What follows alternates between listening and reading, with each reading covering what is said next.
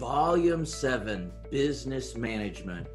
This is so critical, and most investors are entrepreneurs. They hate the paperwork, they hate keeping up with the paperwork, they don't want to do paperwork. And it's one of the most important things when it comes to real estate. So, what we've done, and it took us two years to create this, we've created an amazing system called business management. And what I did was actually take a real estate file and I broke it down into six parts, six sections. And there's cover sheets for each one of these sections. I even tell you where to buy the binders, where to find everything, give you the stock numbers. I mean, I make it brain dead simple on how to set up your business. And your business is a lot of paperwork, to be honest with you. So there's a lot of things that you need to keep up with when it comes to real estate. Now, one section is on the buying. The next section is on the trusts, the land trust and personal property trust. Next section is on insurance. Next section is on property taxes. The next section is on the asset itself. The next section is on the selling.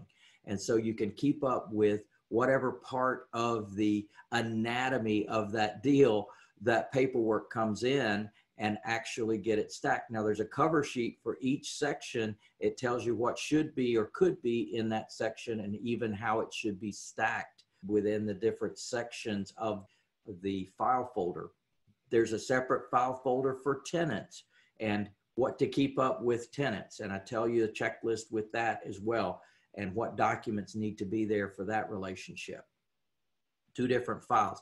And then how to set up your office how to set up your team, where to get your team from, what to pay your team, the paperwork for bringing the team on board.